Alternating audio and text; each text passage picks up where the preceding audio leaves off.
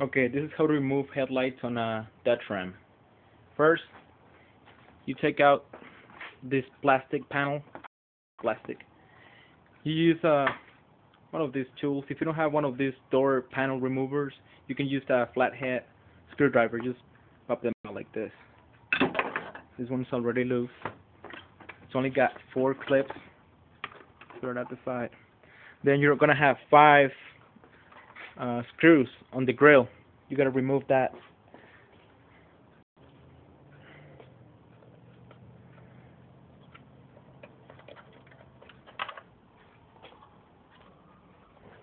This one only has two right now. Usually four.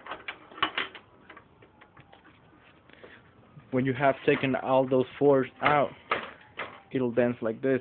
And it's got two clips down there. Uh, let's see what you can see. Those clips right there. One on each side. All you have to do is just pull it back.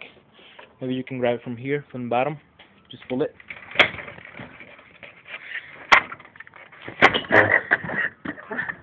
And it comes out.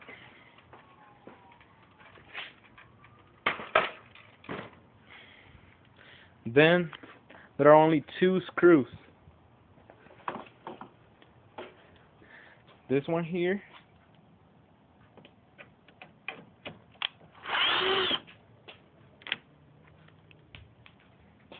and this one right there. Another one. You can use a ratchet or if you have one of these flexible extensions, you can just put it at the side there. It's a 10 millimeter.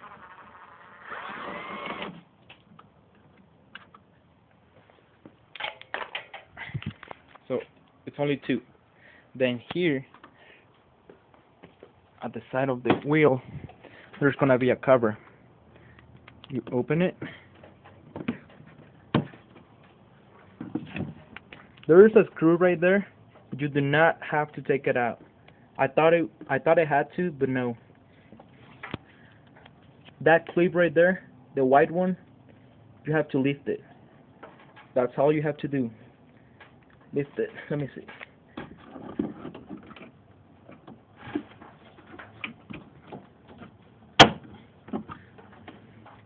Once it's lifted,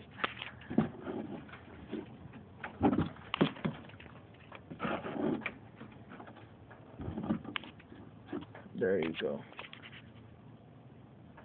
You see that little square? It's supposed to go out through that hole.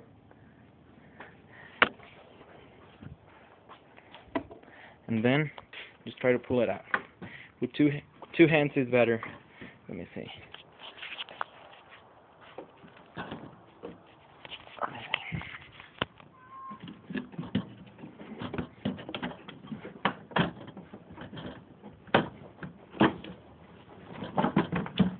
There. And it's out. And if you're gonna put HIDs, just get them in like this. This is the bulb, but that's another video, so hope it helps.